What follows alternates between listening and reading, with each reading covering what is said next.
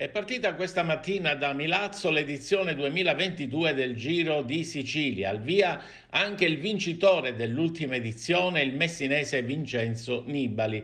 Quattro le tappe in calendario, si comincia appunto oggi con la Milazzo Bagheria di 199 km, domani sarà la volta della Palma di Montechiaro Caltanissetta di 152 km, giovedì si correrà la Real Monte Piazza Merina di 172 km, venerdì si chiuderà con la Ragalna Etna di 140 km con arrivo a Piano Provenzana. Nibali proverà a bissare il successo dell'anno scorso, ma dovrà fare i conti con Damiano Caruso, Domenico Pozzovivo, Diego Rosa, Jefferson Cepeda, Kenny Elisonde e Henry Ponomar, pronti a lasciare la loro firma almeno su una vittoria di tappa Vincenzo Albanese, Matteo Moschetti, Matteo Malucelli, Alessandro Fedeli, Simone Velasco, Benjamin King, Simone Petilli e Filippo Fiorelli. Tornare al Giro di Sicilia mi fa sempre piacere, ha detto Nibali, è la prima corsa di casa, penso sia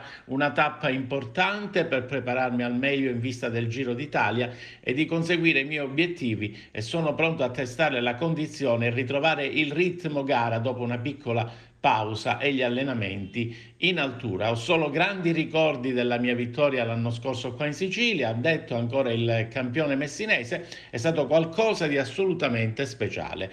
Siamo di nuovo qui e ho al mio fianco una squadra molto forte e sono sicuro che la mia Astana potrà fare bene in questi quattro giorni. Dunque appuntamento domani per l'arrivo della seconda tappa in Viale Regina Margherita a Caltanissetta con i campioni che nel, nello sprint finale si contenderanno la vittoria.